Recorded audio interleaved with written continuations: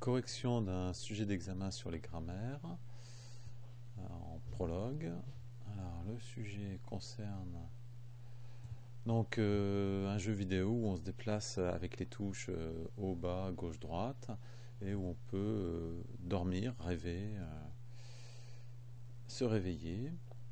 Donc première partie de l'exercice,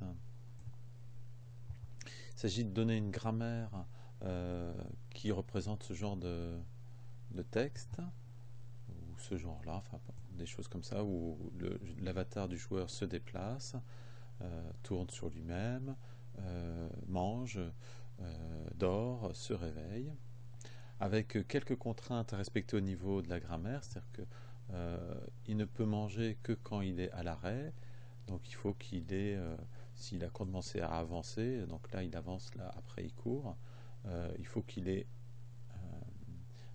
soit repassé de, la course à la marche et de la marche à l'arrêt. Et autre contrainte, euh, c'est que quand il, se, met à dormir, on le verra peut-être mieux ici, il faut que, avant de repartir, avant de finir la session, il faut qu'il se soit réveillé. dernière contrainte, à la fin de la session, il faut qu'il soit à l'arrêt donc, et euh, on suppose qu'au départ, au début du jeu, euh, l'avatar du joueur est à l'arrêt, face au soleil levant. Euh, ça, c'est pour savoir quelle est cette direction. chaque fois qu'il tourne, il tourne de 90 degrés.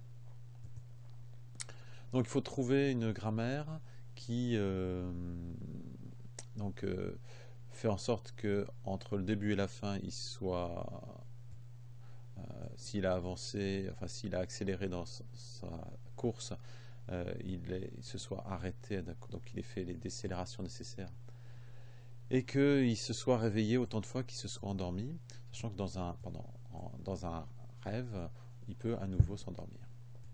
Alors, ce qu'on peut essayer de proposer, euh, c'est la chose suivante.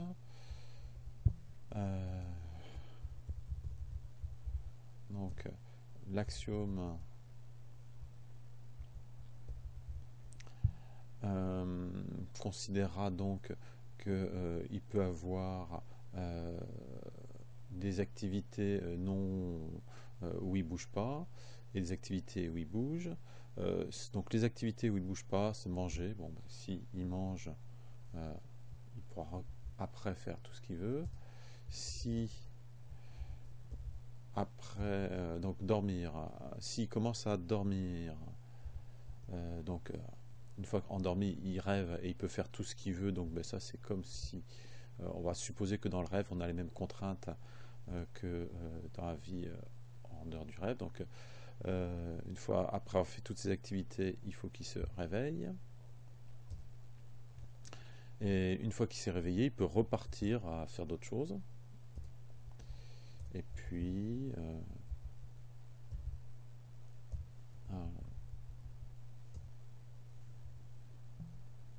quand il euh, tourne à gauche ou à droite, alors euh, comment je vais le dessiner?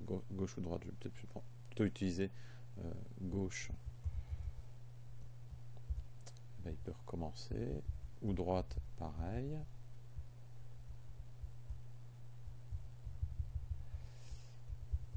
Les flèches, je vais avoir du mal à dessiner ici, sous l'éditeur de texte. Et par contre, quand il accélère, donc on va appeler ça up, ou accélérer, accélère, euh, il faudra qu'après son activité, il est décéléré. Décélère. Est-ce que c'est comme ça que c'est écrit? Oui, Accélère, il n'a pas râlé, tiens. Euh, décélère, ouais, recercle, alors. On va regarder. Décélérer.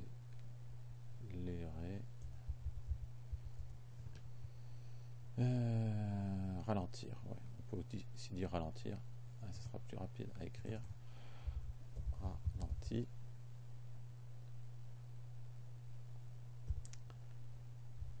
Ralenti.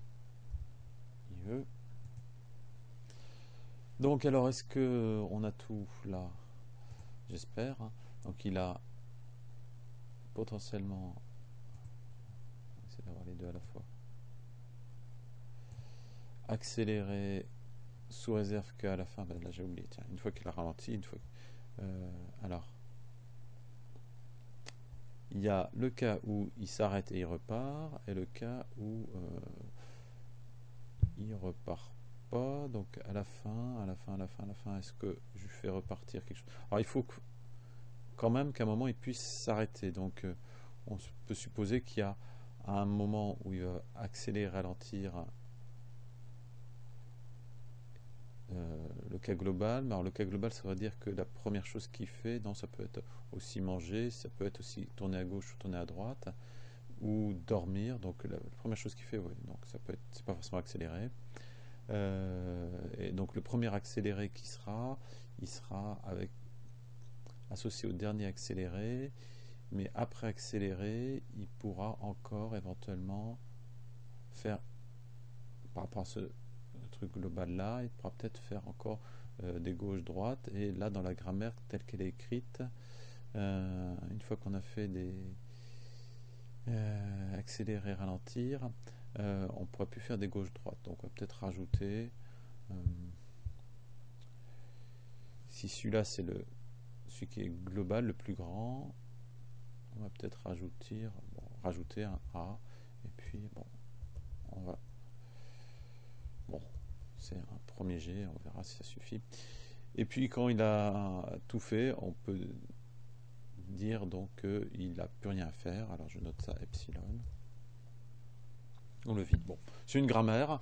Euh, il y a probablement plus, euh, plus intelligent comme grammaire, parce que là, il n'y a qu'un seul euh, non terminal, non terminal A, ce qui n'est pas terrible. On aurait pu un petit peu, par exemple, faire un terminal pour les mouvements sur, sur place gauche-droite, un terminal pour dire, bon ben là il est dans un rêve, et donc il fait des choses spéciales, des mouvements spéciaux, par exemple sans avoir la contrainte qu'il faut qu'il ralentisse autant de fois qu'il est accéléré. Dans le rêve, on peut euh, se réveiller en moment, à un moment où on court. Bon, euh, voilà, il y avait probablement mieux dans la grammaire. Euh, à la limite, ça c'est la première question de l'exercice, il ne faut pas y passer trop de temps. Deuxième question de l'exercice, transformer cette grammaire en un prédicat qui va l'analyser. Alors ça, ça se fait de manière euh, systématique. Donc euh, lecture d'un texte. Donc le texte, il va être composé des M, des D, des gauches, des droites, des accélères, des ralentis. Euh, donc il sera accepté ce texte-là si on, arrive à lire un, A, soit forme d'une différence de liste entre le texte et ce qui restera du texte une fois qu'on aura lu un A. Et ici, on voudrait que ça soit vide, c'est-à-dire qu'on est tout lu du texte. Donc euh, lecture A, eh ben, pour chaque règle de la grammaire, on va faire une règle prologue. Donc au début du texte, donc on appelle ça D et F, la fin, une fois qu'on aura lu un certain A.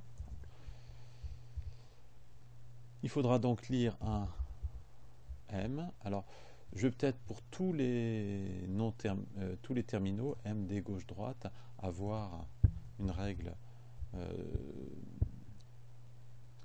supplémentaire, lire terminal avec le nom du terminal. Donc là, le terminal, c'est M. À partir de, donc au début de D, on veut lire un M.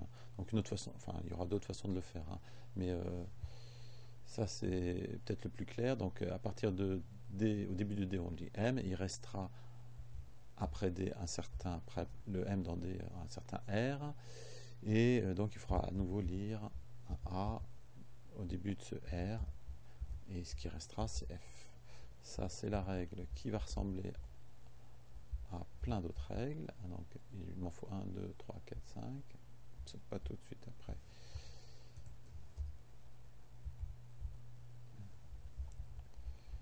Donc 1, 2, 3, 4.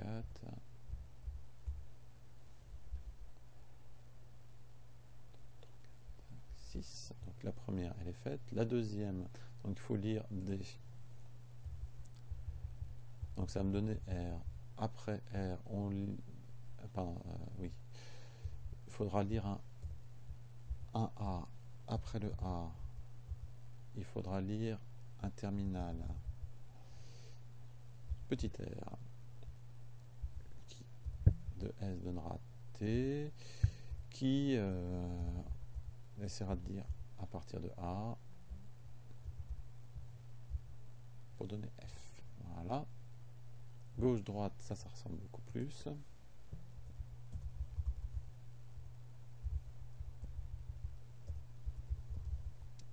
Gauche-droite.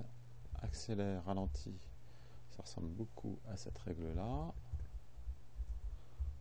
va plutôt prendre ça comme règle. Euh, alors, donc c'est accélère, euh, plus axe, va plus vite. Voilà, puis là, ralentit. Euh, on va appeler décélère plutôt. Donc deck. Tout le reste, j'espère, est pareil.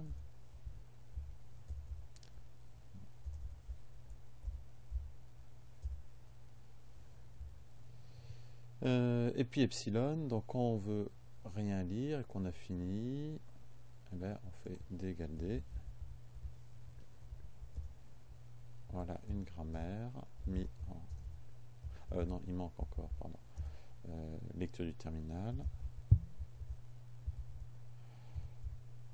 Donc, dans un texte, si on veut lire, pardon, le terminal T,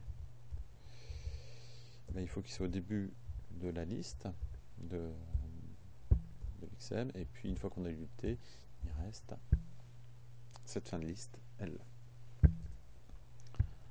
Vérifions sur quelques exemples que ça marche. Lecture d'un texte qui serait correct, donc par exemple euh, manger, dormir, rêver.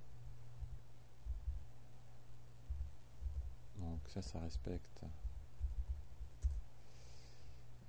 Voilà, ça respecte le fait que euh, à la fin on, est à l'arrêt. Si on avait, euh, alors si on avait mangé, euh, quand on mange, attendez, pour, oui, si on avait ça été mis à accélérer et puis à ralentir, décélérer à la fin. Alors là, ça ne doit pas respecter un des critères, c'est-à-dire qu'on ne doit pas s'endormir en, courant. Bon, alors là, on s'endort en courant. Alors pourquoi Pourquoi Pourquoi? Euh, Quand on accélère, ici, on peut faire toutes les activités. Euh, voilà, ma grammaire, donc elle est un peu faible. On peut faire toutes les activités qui sont disponibles, donc celles qui nécessitent de bouger ou celles qui ne nécessitent pas de bouger. Donc bah, il faut changer un petit peu ça, il faut effectivement modifier la grammaire. Alors, donc il faudra avoir un terminal peut-être pour les activités qu'on peut faire à l'arrêt. À l'arrêt on peut manger, dormir, se tourner à gauche, se tourner à droite et accélérer. Mais une fois qu'on a commencé à marcher, donc on ne pourra pas faire les mêmes activités. Euh, donc euh, on pourra décélérer et puis recommencer parce qu'on sera à l'arrêt. Et donc on va complexifier un petit peu la grammaire. Donc quand on est euh, en mouvement, on peut plus manger. Est-ce qu'on peut dormir? On peut plus dormir. Est-ce qu'on peut aller à gauche? Oui. On peut continuer dans ce cas-là à faire à courir. À droite aussi.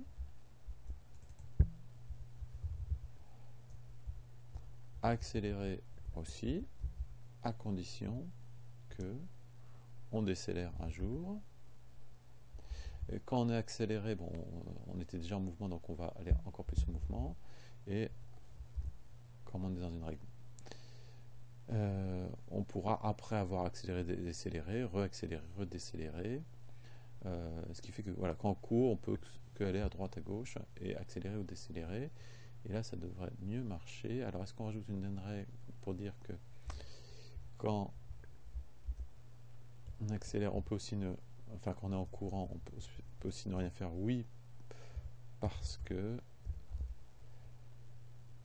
ici, euh, alors d'ailleurs, euh, comment elle est gérée cette règle? Ah Oui, de epsilon. Euh, dans la grammaire, c'est écrit epsilon. Il n'y aura pas d'epsilon dans le texte. C'est géré là hein, pour dire qu'il n'y a rien de, consommer entre l'un et l'autre. Et d'ailleurs, c'était utile hein, tout à l'heure. Euh, quand j'ai pour la première règle. Alors pourquoi être obligé de rajouter ce epsilon? Parce que sinon le b donne toujours un b et donc ça se termine jamais. Donc la seule façon de terminer, c'est d'arriver à cette règle-là. Donc euh, du coup, il faut que je modifie un petit peu ma grammaire. Alors donc c'était dans la règle euh, où on accélérait. Et eh bien, ici, il faudra avoir un phénomène de type voilà gauche, et puis cette règle-là, je vais dupliquer. ça fait un peu plus long, mais ça va, c'est raisonnable. Et ça ressemble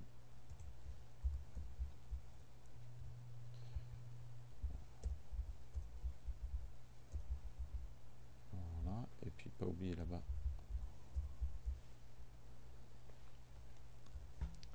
Donc, euh, je reprends mon exemple de tout à l'heure. Est-ce qu'il faut vérifier que ça marche toujours? Donc, ça marche toujours. Juste manger, dormir, rêver, euh, se réveiller, pardon. Deuxième exemple, en bougeant. Cette fois, on va effacer. Effectivement, c'est plus autorisé. Et par contre, si j'avais donc euh, été à gauche, à droite,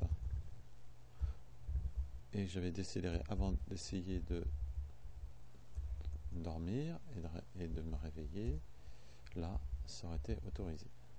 Bon, voilà quelques exemples de la grammaire. On va garder ça dans un coin. Dernière question de l'exercice.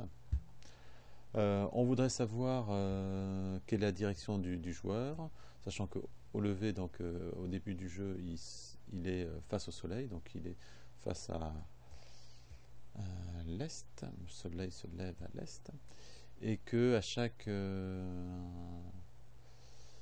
et à chaque début de rêve, l'avatar se retrouve à nouveau face au soleil levant, donc face à l'est.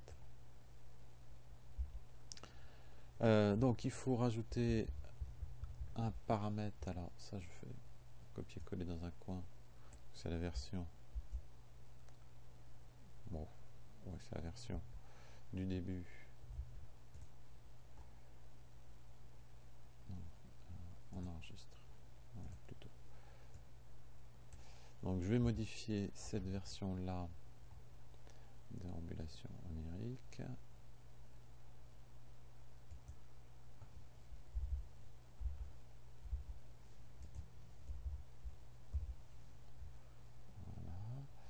Euh, en rajoutant une liste résultat qui sera euh, R c'est déjà utilisé euh, Z ou direction direction qui sera les directions prises par le l'avatar.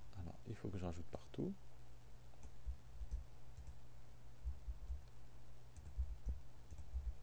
il faut réfléchir. pour l'instant, je rajoute partout, je verrai après si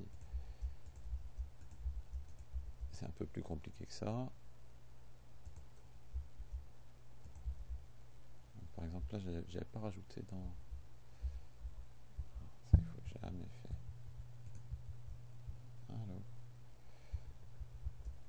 Ben. Ça tombe bien que j'ai On va essayer de le retrouver. Donc retrouver euh, déambulation. En fait, il n'y a pas besoin de faire ce que j'ai fait, mais c'est pas grave. Euh, euh, déambulation, recharger. Donc c'est voilà, on récupère tout ça.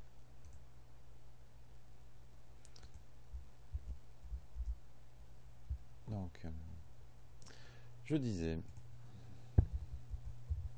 les directions. essayer de réfléchir en même temps. Donc, au départ, la direction. Euh, donc, on va peut-être mettre un paramètre de plus, c'est la direction à laquelle on est arrivé au départ. Euh, où elle sera calculée. C'est plutôt de manière descendante qu'on lit la, liste du texte. Donc, donc au départ, la direction, c'est le l'est. Donc euh, la direction initiale.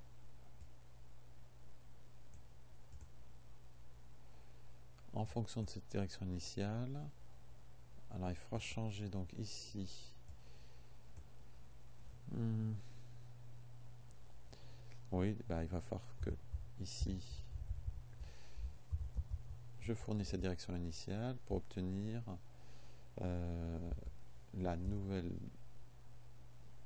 après lecture du terme. Donc si j'ai tourné à gauche ou à droite, euh, voir ce qui s'est passé. Donc euh, je vais l'appeler comment? Je vais l'appeler comment? Donc prochaine direction.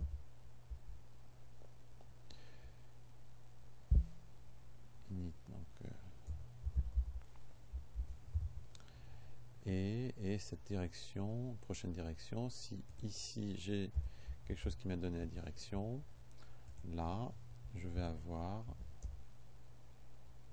la prochaine direction qui s'ajoute à la direction.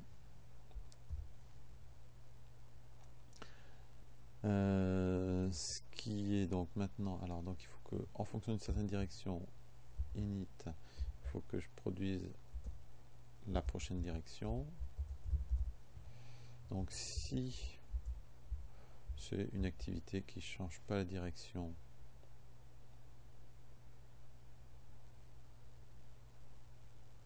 alors ça c'était quoi euh, C'était pour manger, manger. Euh, manger, de toute façon ça ne change pas la direction. Pas très important, donc M init init. Euh, deuxième qui apparaît donc, euh, donc dans les lectures terminales. Il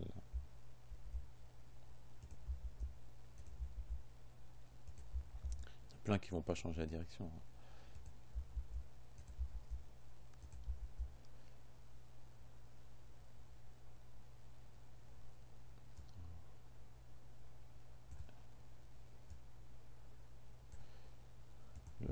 Commence à prendre un peu d'ampleur. J'espère que je vais pas avoir des variables. Bah oui, init prochaine direction. Là, ça va parler prochaine direction. Et puis direction suivante.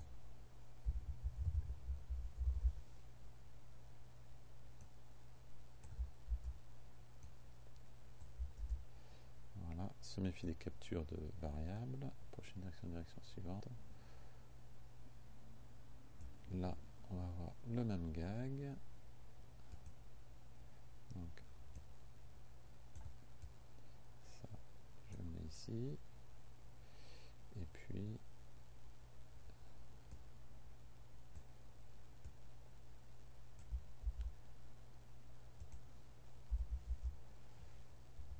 donc, en essayant de ne pas en oublier. Donc si on mange, change pas de direction. Le prochain qui arrive, donc, euh, donc on a géré la première ligne. Si on était à manger, on a changé de direction, la direction obtenue, c'est la direction finale. Si on dort, alors la prochaine direction, ça, ça va être intéressant. Ici, ça va nous donner un certain nombre de directions qui vont être. Donc on voudrait retrouver la structure des rêves. Donc il va être une liste avec euh, dedans la liste des directions. Et en fait donc euh, on est avec certaines directions. Quand on se réveille on est à l'est. Voilà. Donc euh, il faudra fournir est ici donc on peut, si on veut, ici, quand on dort, peu importe la direction, en fait, c'est toujours est après avoir dormi. Euh, ici, donc ça fournit la direction. Et au réveil, on est au réveil, peu importe la direction dans laquelle on était,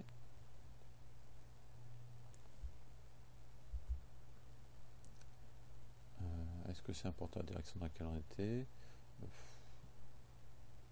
Non, parce qu'on change pas de direction. Euh, ici, ici, ici, ici. Euh, là non plus, ça ne sera pas très important la direction suivante, c'est pas ce que va fournir le réveil. Euh, ce qu'il faut voir, c'est qu'on repartira ici avec la direction initiale qui était là pour produire un autre ensemble de directions. Suite direction. Euh, qui sera donc euh, on aura les directions suivies de euh,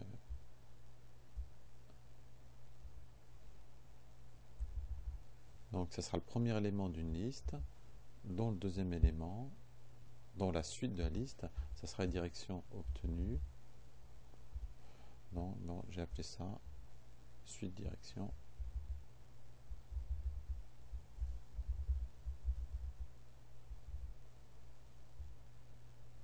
suite dire. Donc euh, ici cette structure là, cette écriture là, elle est pas très courante, hein, mais bon, d'habitude c'est une erreur de, ce texte, mais là c'est vraiment, euh, on veut avoir une liste, deux listes, donc ça c'est une liste. Comme premier élément de la liste complète, euh, tout à l'heure j'avais mis des crochets en fait maintenant, on n'a plus besoin de décrocher. Donc c'est le premier élément d'une liste, dont la suite de la liste, ça va être des éléments euh, produits après le réveil. Sachant que le réveil, se passe, donc là, en fait, on s'en fout ici, Z, Z. Euh, voilà, après le réveil, on se retrouve dans la direction initiale. Bon, ça c'était la partie dure. Les autres, ça va être plus simple. il va y avoir des petits bouts à faire. Donc là, j'ai mis aussi dormir. En fait, donc dormir, quel que soit l'un. Euh, dormir, c'est pas significatif. À la limite, dormir, il faudrait faire un prédicat particulier qui donne n'importe quoi, euh, qui n'a pas des paramètres supplémentaires. Ici, alors, quand on va à gauche, donc ça va ressembler à ça. À droite aussi. Sauf que quand on va à gauche, euh, qu'on était déjà dans une certaine direction init, eh bien, il va falloir là travailler un petit peu sur les changements de direction. J'en prévois 4 parce que à partir de gauche, si on est à l'est. C'est ça que je vais copier.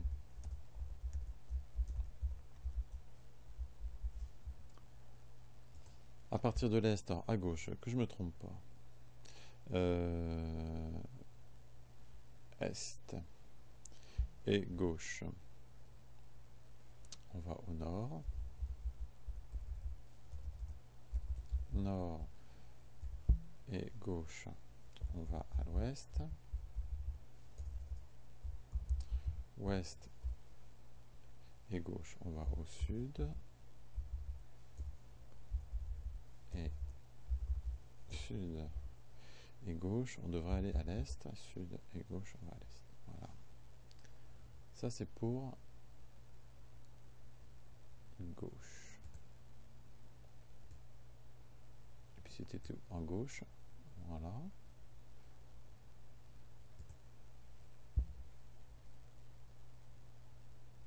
Pareil pour droit. Donc je vais juste reprendre celui-là qui est plus proche. droite. Et tout cela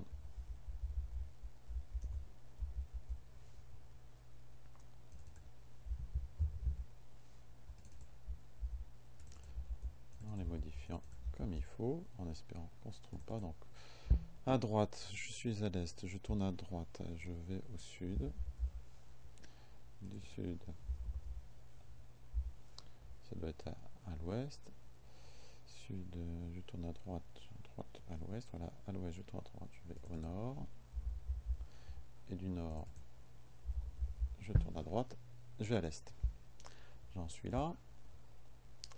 Euh, ça c'est quoi? C'est quand on accélère. Quand on accélère, on change pas de direction. Donc euh, à ceci près que euh, donc ça va être une règle comme ça qu'il faut rajouter des paramètres. Pareil quand on décélère. À ceci près qu'il faut rajouter des paramètres et tout ce qu'il faut avec.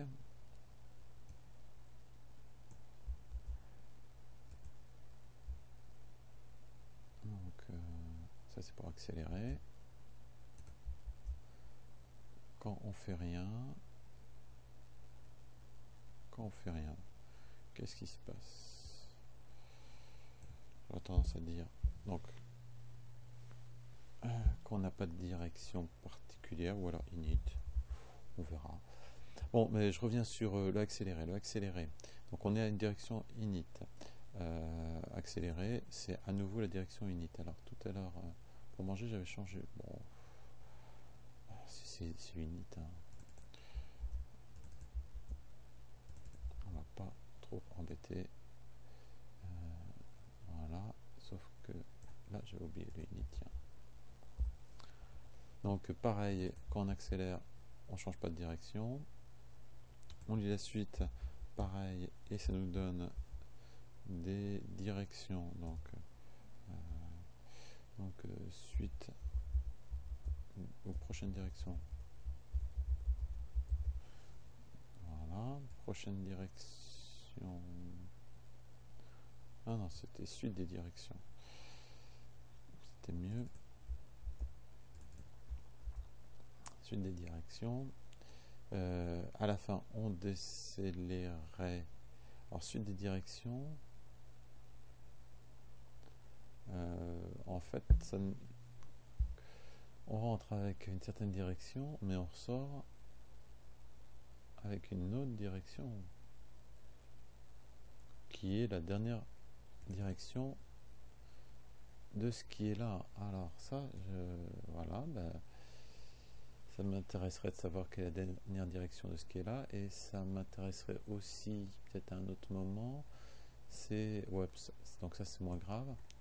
Euh, quand on dort, parce que quand donc pareil, hein, quand on se réveille, quand on se réveille, il y a moins, c'est moins grave parce que quand on se réveille, donc c'est les choses qui sont là. On a pu changer de direction euh, dans B et il faudrait savoir quelle direction qu'on est arrivé à la fin. Bon, bah, il faut chercher le dernier terme donc. Donc euh, c'est pas grave pour dormir parce que quand on se réveille, ici, où c'est que c'est quand on se réveille? Quand on se réveille, on a la direction du départ. Donc peu importe la direction qu'on a prise entre temps. Par contre, ici, quand on dort, quand on accélère pendant et qu'on décélère, euh, enfin, ce sera pareil tout à l'heure, euh, pour calculer la suite des directions, il faut prendre la fin. Dernière direction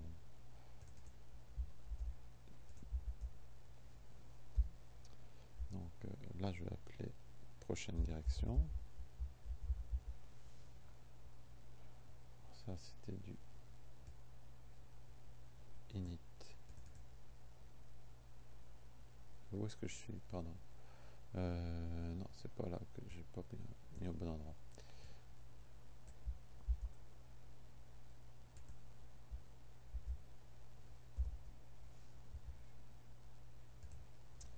Alors, on va mettre ça sur plusieurs lignes pour voir les choses un peu mieux, j'espère.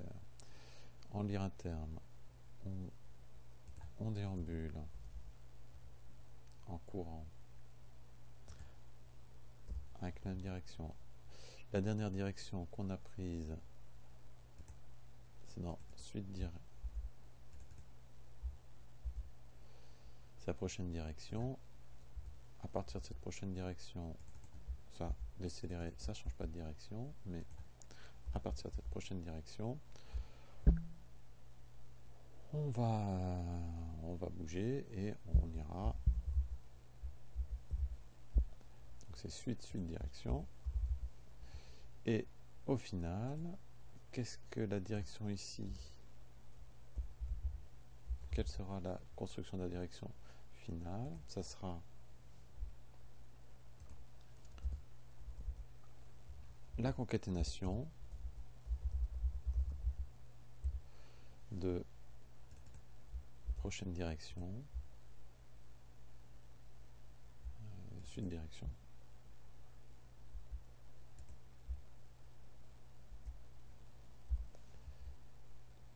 De suite, suite direction. Avec, si on voulait, on rajouterait un, init et un euh, proche dire. Bon, mais c'est des, directions redondantes. Hein. On pourrait, il faudrait donc euh, ce qui était plutôt imaginé, c'était plutôt de, tasser un petit peu les, informations. Donc pareil là, en fait, le, le init, c'est pas sûr qu'il soit toujours nécessaire. Ça dépend s'il y a un init au début de dire ou pas. Et pareil ici, est-ce que c'est vraiment nécessaire? Bon, là c'est peut-être nécessaire, mais euh, quand on change pas de direction, c'était peut-être pas nécessaire de mettre les directions. Donc voilà, bah, il faudrait donc qu'on construise des prédicats dernier concatène et puis qu'on rajoute ensuite le, euh, le même calcul que là sur euh, les directions dans les mouvements, B étant la démarche quand on est en mouvement. Je vais peut-être pas le faire dans la vidéo parce que ça va être peut-être un peu long. Je coupe là et puis j'espère que tout marche bien.